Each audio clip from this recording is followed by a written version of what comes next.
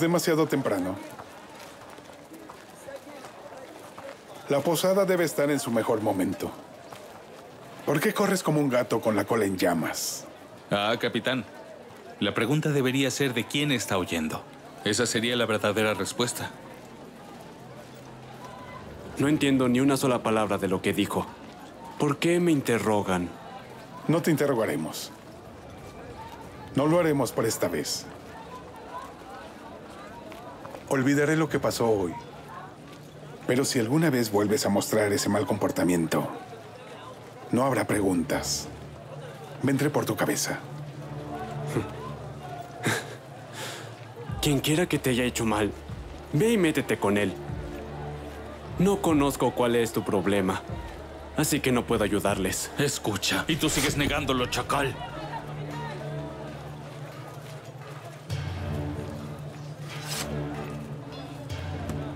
Ya te lo advertí. El resto depende de ti, amigo.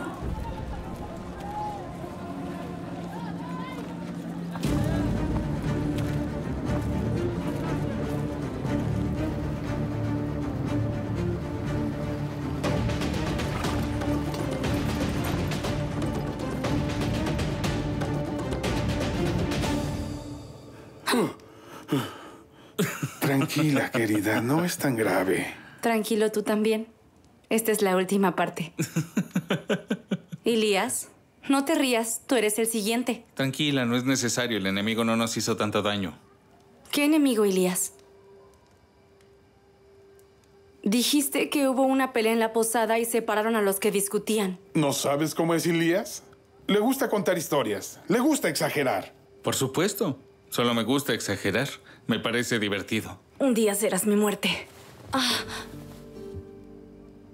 Dispina, ¿estás bien? Siéntate. Pareces agotada. ¿Estás bien?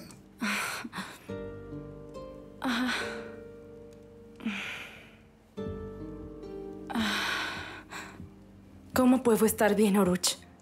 Cada día alguna riña, otro problema. Cuando te dije que nos fugáramos, ¿no sabías que soy un loco?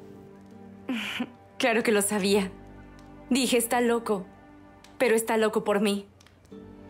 Dije, nunca me va a dejar. ¿Qué estás diciendo? ¿Crees que te dejaría ahora? ¿No soy un hombre de palabra? Sí, Despina, me esperarás en casa cada vez que zarpe. Y si Alá quiere, volveré sano y salvo. la espera es más difícil ahora. ¿Por qué? No importa. Es solo una forma de hablar. Creo que el parloteo de Elías es contagioso. Que vuelva sano y salvo es suficiente para mí. Si Alá lo quiere.